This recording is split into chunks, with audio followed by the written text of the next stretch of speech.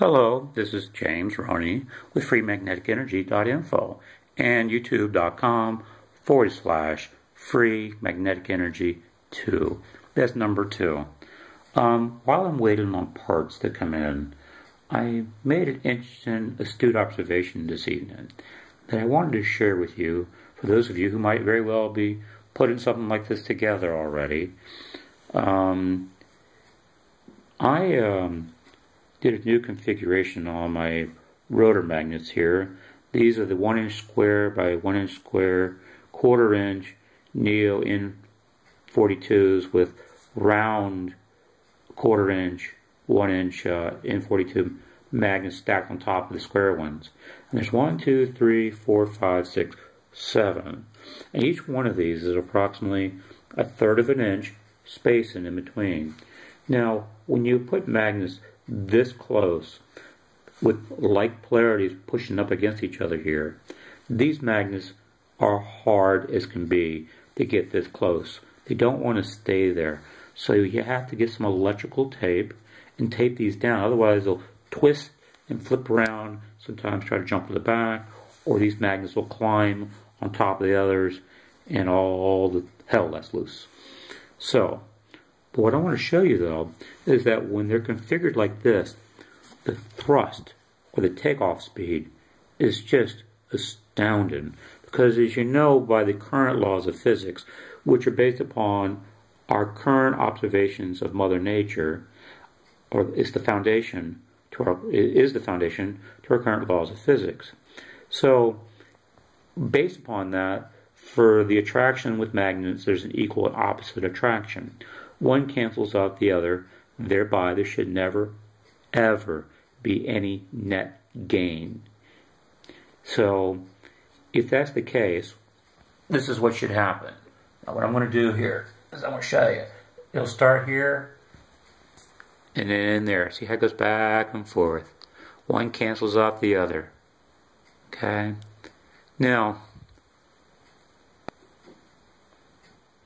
the principle behind my thinking was when I designed all of this is that, but what if we could get the speed to get up in such a way that by the time it got to the last magnet here, the inertia or speed would be so great that the counter supposed equal attraction would not be great enough to cancel out all of these, the sum of all of these added up together, leapfrogging from one to the other, because it does gain speed each magnet gets a little faster, a little faster, a little faster. And by the time it gets to the last magnet here, it's moving along a pretty good little clip. And it's moving along so quick, the counter attraction over here is just not strong enough. Yes, it loses quite a bit of its speed, but it doesn't lose all of it. And that's the key. It's not an equal opposite attraction. If it was equal, then what you're seeing here would not happen. So let me show you here what's really cool here about this configuration I have. What I'm going to do here, for argument's sake, I'm just going to start it about one spoke away from the stator. Okay, I'm just going to raise my hand up real quick and watch how quickly this accelerates and just takes off. Here we go. Look at that. Isn't that amazing? And look, it's still going. Okay, it's going to stop right about there. The friction is really great because I have a bushing here. It's too tight and I think this needs to be loosened, but I have to keep this tight. Uh, so there's things in here, because this is just a bicycle wheel. There's other things in here I think we've gotten too tight. Anyway, there's a nut on the inside, and there are nuts on the outside if you know anything about bicycles. Okay, so, um, let's see here. We'll do this here one more time here. This time we're going to count spokes. Okay, so that's right there. It's about exactly one spoke away. See there? Okay, so the measurement is about one spoke. Okay, I'm just going to take my hand off. Okay, and you see lost quite a bit of speed, but it gained more than enough to get all the way out of there. Okay, let's see here. One, two, three, four, five, six, seven, eight, nine, nine. So basically it's nine to one ratio. Um, that's a pretty good amount of net gain instead of one to one because it we should not have gained all that speed. I mean, all that distance. Look how far it traveled away from the stator. By our current laws of physics, they shouldn't be doing that. Okay, so let me set this. Oh, this time, let me give it a little bit of speed because it's not supposed to work from a dead stop anyway. If it's going to turn into a, uh, a magnet motor.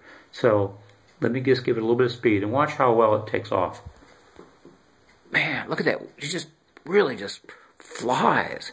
Okay? It's not going to make it all the way around. i got to push it. It's just too much friction. Okay, let's do this here one last time. Actually, we'll do it two different ways. We'll do it one last time this way. Man. Okay, now I'm going to just put the camera real close so you get a sense of speed. Let me set this up again. Okay, here we go. Give it just a gentle little push, and here we go. Man, let that just take off. That's not supposed to happen by our current laws of physics. Okay?